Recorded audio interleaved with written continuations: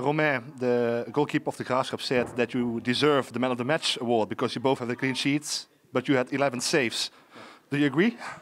Yeah, I'm gonna say like it's a work team, not only uh, me. And uh, sometimes, yeah, I'm they show more me, but it's a, a teamwork today. Yeah, but, but I mean, you can have some saves, but you had a lot today. Describe how it went for you.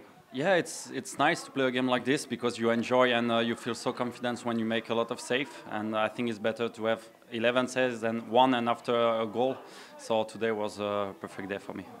So, how many one-on-one situations did you count even today? Uh, I think I stopped counting after two, so I just uh, don't count and just stay focused for for the next uh, save. So, what happens then with you at the moment? Because at some point, I can imagine you feel like not a single ball is going in today. Uh, does it make you? Does it help you as well in the game? Yeah, of course, but I think you, I need to stay focused because if I'm too confident after, I'm gonna make a mistake, and so I just like totally lose uh, what I make before and just okay, make your game. Yeah. yeah. So, so what was the most important one then? Uh, today, the most important was uh, the, the clean sheet, I think.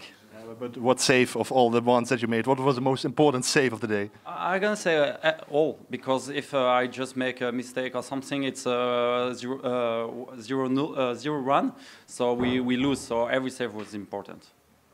So how big is the contrast compared to last Monday when it was like 3-4 against Young Utrecht?